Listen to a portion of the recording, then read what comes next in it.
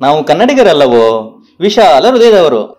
ಎಷ್ಟು ವಿಶಾಲ ಅಂದ್ರೆ ಒಂದು ಪರಭಾಷಾ ಸಿನಿಮಾ ಎಷ್ಟು ಭಾಷೆಯಲ್ಲಿ ರಿಲೀಸ್ ಆಗುತ್ತೋ ಅಷ್ಟೂ ಭಾಷೆಯಲ್ಲೂ ಕರ್ನಾಟಕದ ಥಿಯೇಟರ್ಗಳಲ್ಲಿ ಲಭ್ಯ ಇರುತ್ತೆ. ಇದು ನಮ್ಮ ಡಿಸ್ಟ್ರಿಬ್ಯೂಟರ್ಸ್ ಹಾಗೂ ಎಕ್ಸಿಬ್ಯೂಟರ್ಸ್ಗಳ ನಿರಭಿಮಾನ ಅಲ್ವಾ? ಇದ್ರ ಬಗ್ಗೆ ಒಂದಷ್ಟು ಮಾತಾಡೋಣ. ಅದಕ್ಕೂ ಮುಂಚೆ ನಮ್ಮ ಚಾನೆಲ್ಗೆ ಹೊಸಬರಾಗಿದ್ರೆ ಒಂದಷ್ಟು ಸಮಯ ಕೊಟ್ಟು ವಿಡಿಯೋ ಪೂರ್ತಿಯಾಗಿ ನೋಡಿ. ಇಷ್ಟ ಆದ್ರೆ ಸಬ್ಸ್ಕ್ರೈಬ್ ಮಾಡ್ಕೊಳ್ಳಿ. ಇನ್ನೂ ಇಷ್ಟ ಆದ್ರೆ ನೋಟಿಫಿಕೇಶನ್ ಆನ್ ಮಾಡ್ಕೊಳ್ಳಿ. ಇನ್ನೂ ಜಾಸ್ತಿ ಇಷ್ಟ ಆದ್ರೆ ಪಕ್ಕದಲ್ಲಿರೋಗೂ ಸಜೆಸ್ಟ್ ಮಾಡ್ಬಿಡಿ. ಈಗ ವಿಷಯಕ್ಕೆ ಬರೋಣ. ಒಂದು ತೆಲುಗು ಸಿನಿಮಾ ಗುರು, ದೇವರ. ಆಂಧ್ರದಲ್ಲಿ ಎರಡು ಭಾಷೆಯಲ್ಲಿ ಸಿಗುತ್ತೆ. ತಮಿಳ್ನಾಡಲ್ಲೂ ಎರಡು ಭಾಷೆಯಲ್ಲಿ ಸಿಗುತ್ತೆ. ಆದರೆ ಕರ್ನಾಟಕದಲ್ಲಿ ಮಾತ್ರ ಎಷ್ಟು ಭಾಷೆಯಲ್ಲಿ ರಿಲೀಸ್ ಆಗಿದೆಯೋ ಅಷ್ಟು ಭಾಷೆಯಲ್ಲೂ ಸಿಗುತ್ತೆ. ಸಾಮಾನ್ಯವಾಗಿ ಡಬ್ಬಿಂಗ್ ಸಿನಿಮಾನ ಕೆಲವರು ಯಾಕೆ ನೋಡಲ್ಲ ಹೇಳಿ?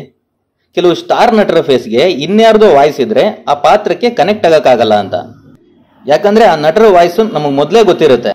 ಇನ್ನು ಕೆಲವರು ಆ ನಟರ ಅಭಿಮಾನಿಗಳಿದ್ರೆ ಅವ್ರ ವಾಯ್ಸಲ್ಲೇ ನೋಡಬೇಕು ಅನ್ನೋದು ಅವ್ರ ಅಭಿಲಾಷೆ ಆಗಿರುತ್ತೆ. ಈ ದೇವರ ಸಿನಿಮಾದಲ್ಲಿ ಅಂತಹ ಸಮಸ್ಯೆ ಏನೂ ಇಲ್ಲ. ಎನ್ ಟಿ ಆರ್ ಅವರೇ ಕನ್ನಡದಲ್ಲೂ ಡಬ್ ಮಾಡಿದ್ದಾರೆ. ಪ್ರಕಾಶ್ ರಾಜ್ ಅವರ ವಾಯ್ಸ್ ಕೂಡ ಕನ್ನಡದಲ್ಲೂ ಇದೆ.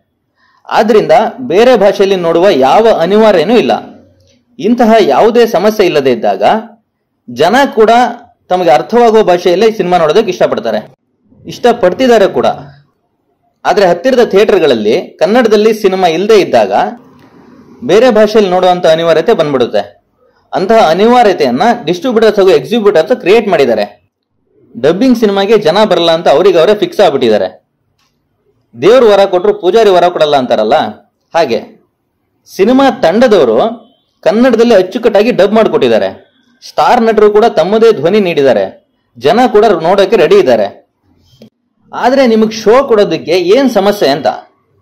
ಇನ್ಮೇಲಾದರೂ ಕನ್ನಡದಲ್ಲಿ ಹೆಚ್ಚಿನ ಶೋಗಳನ್ನು ಕೊಡಿ.